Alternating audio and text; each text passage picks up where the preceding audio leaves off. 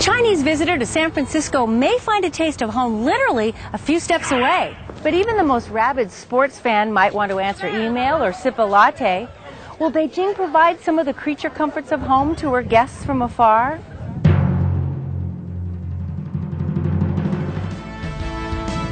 In this episode, your Olympic homesickness cure might begin at a cafe.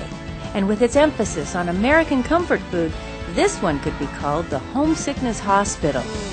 Then a visit to Beijing's Athena restaurant and cuisine from the very first Olympic country, Greece. And this Brazilian chef's advice about Chinese cuisine may surprise you. Also, the solution for a homesick sweet tooth. Plus, if nothing does it for you like Western food, there are signs that you can get your fast food fix in Beijing. Finally, these Western exchange students share their insights into Chinese culture and tips for surviving your trip to the Olympics. All coming up on Beijing. Are You Ready? Welcome to the Sculpting in Time Cafe. Another good name for it might be the Homesickness Hospital. Let me read you some of their prescriptions. Smoothies, mm, cherry coke with ice, ice cream sodas, popcorn, cheesecake, pizza, pepperoni pizza, club sandwich, and all kinds of coffee. Hi, what can I do for you? I would like some blueberry cheesecake, please. Okay. The multi-level cafe on Wei-Gun-Tsuen Road is an airy, relaxed setting for sending email about the Olympics to loved ones back home. Hi, I'm Mary. Hi. Do, oh, you speak English? Sure. Hi, how are you? Hi, Nice Amos. to meet you. What's your name? Amos. English? Where are you from? I'm a Norwegian. Oh, from Norway. Yeah. I come here mainly for for, for the wireless internet Okay, connection. okay, yeah. But uh, And the beer. And the beer. But uh, So you like the books and the wireless? the books and the wireless? Yeah. And I mean the atmosphere is is very much like home also. But um, I, I can't say I'm I'm homesick at all. Oh, that's good. Yeah. That's good. Well, a place like this helps. Yeah. But that's not the only cure for loneliness here. This homey setting is a popular spot to meet new friends, including many language partners hoping to swap English for Mandarin. Entrepreneurial minded expats even leave business cards at the entrance, eager to prolong their stay abroad with a little extra cash from language lessons. Its proximity to several of Beijing's finest universities, including the famous Beijing University, makes for an internationally hip, young, and mostly studious clientele. Opened in 1997 by a pair of newlyweds, the Sculpting in Time Cafe proved to be such a hit that they opened five more throughout Beijing. China's taste for coffee isn't just the caffeine calling. The draw of coffee culture is a reflection of the growing leisure lifestyle that's popping up in urban Beijing. But the upcoming influx of caffeine deprived Olympic visitors might also have something to do with it. Beijing's drink of choice is still tea, but at this cafe, the tea is likely to be iced and accompanied by a side of pizza. Okay, look what I found. It's a tray of America. This is ketchup. Come on, you know what it all is. Parmesan cheese from Kraft, Tabasco sauce. Here's the cream, and look, even granulated sugar. And salt and pepper shakers. I don't know if I've seen any salt and pepper shakers around here. Um, are you guys from America? Um, I am. I'm Mary. How are you? Hi, my name's Remy. Hey, Remy, how are you? Hi. Where are you from? Hi, I'm Matt from Finland. Oh, from Finland. That's nice to meet, nice to meet you too. So, how did two, uh, an American and a Finnish guy end up in China? Oh, we're classmates. When you come here, what do you do that makes you feel like home? Drink iced tea. The Sculpting in Time Cafe's popularity doesn't mean that Beijing's joining the ranks as a cosmopolitan city. It's a sign that it's already there. But none of that matters to a lonely traveler who's just looking for a taste of home.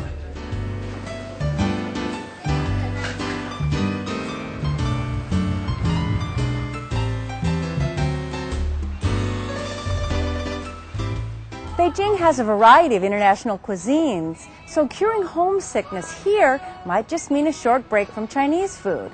And what could be more appropriate at the Olympics than the cuisine of the country that started the Games, Greece? Walk into Beijing's Athena restaurant, and it's like being instantly transported to Greece. Every detail convinces the eyes, ears, and nose. Greek music sets the mood. The Mosaic Bar is stocked with hard to find Greek liquor and wine. And the artwork evokes Greek history and culture. Even if you come here by yourself, you won't be alone. Statues of Greek gods and historical figures will keep you company, envying your every bite. And if the spices on display are actually used in the kitchen, the meal could be the real thing. In fact, nothing about this place reveals that it's actually in Beijing.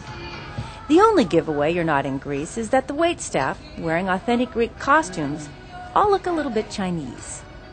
Just don't ask them for chopsticks. You can't get them here. Athena is located in Beijing's Embassy District, and it's the only Greek restaurant in the city. Chef Yang Xiaopeng may not be Greek, but he's trained by Greek chefs. And if you come here for the Olympics, Chef Yang has a few gold medal dishes to recommend. 这个呢是头盘，希腊饭卷儿，这里边呢主要是有一些牛肉馅儿，然后拿希腊的这个葡萄叶儿卷好的，这是头盘。然后第二道呢是希腊沙拉，里边有西红柿、黄瓜、菲达 cheese，还有橄榄，啊，加一点香草，加上点橄榄油，这是很开胃的一道菜。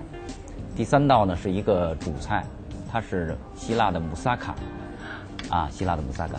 然后呢里边有那个茄子，还有牛肉馅儿，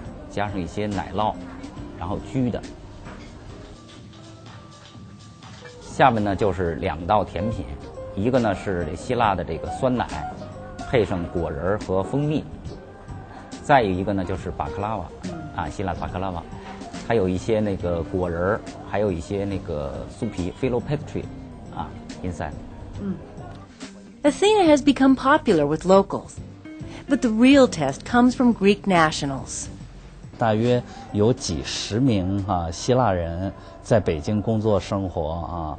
那么这些客人呢哈，绝大部分呢哈都来过餐厅，并且呢，呃，对我们餐厅呢哈，大都呢哈都报以呢哈这个呃很好的评价啊。And based on past experience, Richard Wong has reason to believe he'll see a big increase in business when the 2008 Olympics arrive.